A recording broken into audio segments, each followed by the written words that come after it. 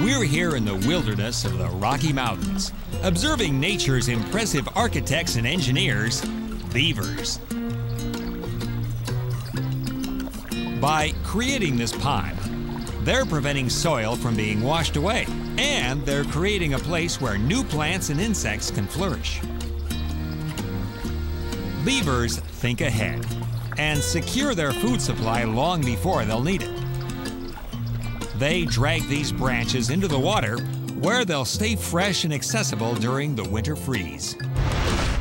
Flash forward to the winter freeze, when the frigid temperature has turned the mud and sticks into a secure shelter for the beavers.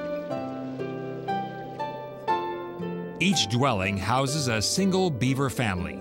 Yep, with a mom and dad, and did I mention beavers mate for life? And each home has an elegantly designed passageway to the lake. Beavers are North America's largest rodent, and they're the only ones with skin flaps behind their teeth that allow them to haul branches without swallowing water.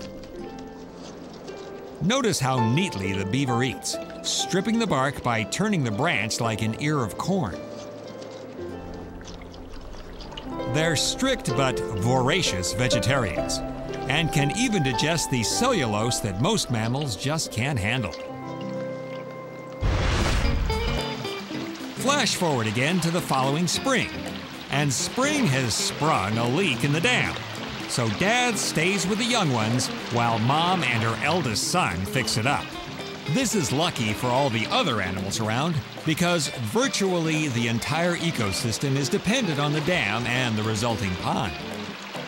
Wouldn't it be great if we could all be as industrious and efficient as the eager beavers?